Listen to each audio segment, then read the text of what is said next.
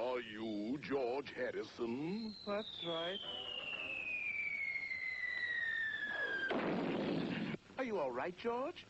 Yes, this gentleman pulled me out of the way just in time.